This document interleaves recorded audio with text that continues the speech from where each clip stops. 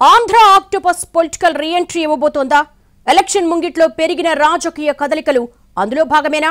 రాష్ట్ర విభజన తర్వాత క్రియాశీలక రాజకీయాలకు గుడ్ బై చెప్పి అప్పుడప్పుడు మాత్రమే తెర మీద కనిపించిన లగడపాటి రాజ్గోపాల్ ఇప్పుడేం చేయబోతున్నారు? ఆత్మీయ సమావేశాల వెనక ఆంతర్యం ఏంటి? బెజవాడ ఎంపీగా రెండు వేల నాలుగు రెండు వేల తొమ్మిది ఎన్నికల్లో రెండుసార్లు కాంగ్రెస్ తరపున గెలిచిన లగడపాటి రాజగోపాల్ రాష్ట్ర విభజన జరిగితే రాజకీయాలకు గుడ్ బై చెబుతానని నాడు శపథం చేశారు.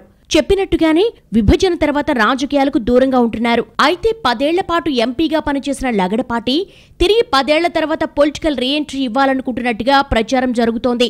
తిరిగి యాక్టివ్ అవ్వాలని చాలా రోజుల నుంచి ఆయన వర్గం మనుషులు ఒత్తిడి చేస్తున్నట్టు చెప్పుకుంటున్నారు. గత అసెంబ్లీ ఎన్నికల సమయంలో కూడా లగడపాటి టీడీపీలో చేరి పోటీ చేస్తారని అంతా అనుకున్నారు. అదంతా తూచని తర్వాత తేలిపోయింది. రెండు వేల ఇరవై నాలుగు ఎన్నికల టైం దగ్గర పడుతున్న తరుణంలో మరోసారి లగడపాటి రీఎంట్రీపై చర్చ మొదలైంది. గతంలో ఆయనతో కలిసి పనిచేసిన నాయకులు తాజాగా బెజవాడలో సమావేశమయ్యారు. ఈ సమావేశ ప్రధాన ఎజెండా లగడపాటి తిరిగి రాజకీయాల్లోకి ఎంట్రీ ఇవ్వడమే. ఆయనతో సన్నిహితంగా ఉన్న కీలకంగా వ్యవహరించిన వారందరినీ కలిపి ఈ నెలాఖరు లేదా వచ్చే నెలలో లగడపాటితో ఆత్మీయ సమావేశం నిర్వహించాలని ప్రస్తుత మీటింగ్లో నిర్ణయించారు. ఈ సమావేశంలో తమ తమ అభిప్రాయాలను లగడపాటికి చెప్పాలని ఆయన అనుచర వర్గం డిసైడ్ అయిపోయిందట. ఎన్నికల్లో పోటీ ఏ పార్టీ తరపు నుంచి అనేది ఆయనకే వదిలేసి ముందైతే పొలిటికల్ రీఎంట్రీ ఇవ్వమని కోరుతున్నారట ఆయన అనుచరులు. పొలిటికల్ ఆక్టోపస్గా పేరున్న లగడపాటికి బెజవాడలో పెద్ద అనుచర వర్గమే ఉంది. ఆయన నగరంలో అనేక కార్యక్రమాల్లో పాల్గొంటున్నా పొలిటికల్ ఎంట్రీపై ప్రకటన మాత్రం చేయలేదు. అటు అనుచరుల పేరుతో హడావుడి మాత్రం జరుగుతోంది.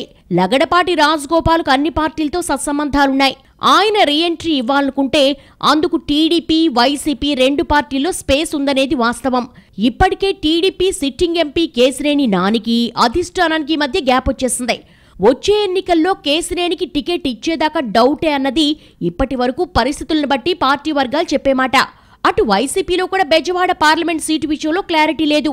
అయితే గతంలో జరిగిన పరిణామాలను బట్టి చూస్తే లగడపాటి పోటీ చేయడం అంటూ జరిగితే వైసీపీకి వెళ్ళే అవకాశాలు చాలా తక్కువన్న మాటలు వినిపిస్తున్నాయి.